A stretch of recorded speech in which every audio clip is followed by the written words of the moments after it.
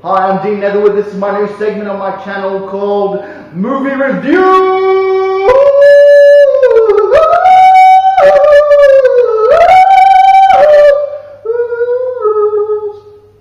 So, to kick things off, my first movie review is going to be on God Bless America.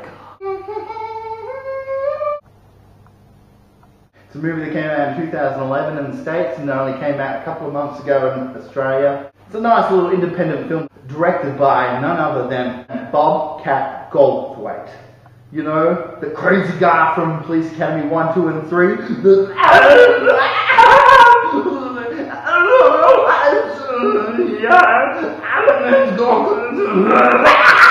So, this crazy motherfucker's been doing a lot of directing lately, which is really, really, really, really, really, really good. Frank finds out he's terminally ill. So he's like, oh, I've lost my job, uh, my wife and my kid hate me, I hate the world, let's go on a killing spree. Boom, Murder rampage! And goes across America killing people from various reality shows, from like uh, my spoiled 16 year old bitch, teenage daughter, or whatever the hell it's called, American Idol rip-off type shows. We they even rip off Ryan Seacrest's character. It's hilarious. This movie is brilliant. I love it. It's such a dark comedy. You know, they are killing people. It's, you can't take light of that subject. They are killing people, but they're people that no one will miss. I mean, eventually somebody was going to kill them. Why not this guy? He's got morals. He's got the wits. He knows what is intelligent television. Shooting people the face. You gotta give it to I give it to Bobcat Goldthwait. He is a genius when it comes to indie movies. Let's just view and enjoy. The most hilarious ringtone ever. Just text PIG.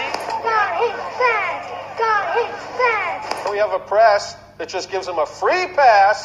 The boys were caught after setting the homeless man on fire. Did you want the food in my food?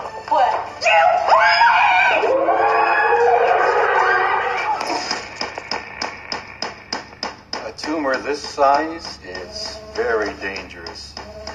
Do you have any family? Oh, gotta take this. My name is Chloe. I live in Virginia Beach, and everyone loves me because I'm so pretty. I wanted an Escalade! This is the biggest day of my Hey, creepy. Isn't the schoolgirl thing a little played out? Don't move and don't make a sound. If you want the car, just take it. My parents got me the wrong one, anyways. Yeah, that's a fucking tragedy. Did you just kill Chloe? Awesome. That was a fantastic start, but you know who else really rips my cock off? The Kardashians. People who use rock star as an adjective. Women who call their tits the girls. Anyone who wears crystals. You're aiming at the bear, right? This is the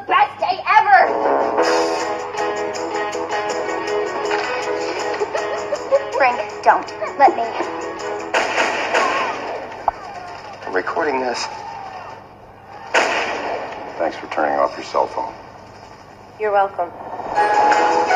Why have a civilization if we're no longer interested in being civilized? Hey, buddy, what's wrong? A lot. A lot of crazy people out there. Some people who deserve to die. We gonna do this or what? I know it's not normal to want to kill, but I am no longer normal.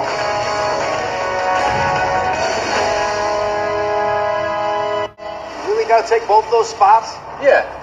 Fuck you. Fuck you.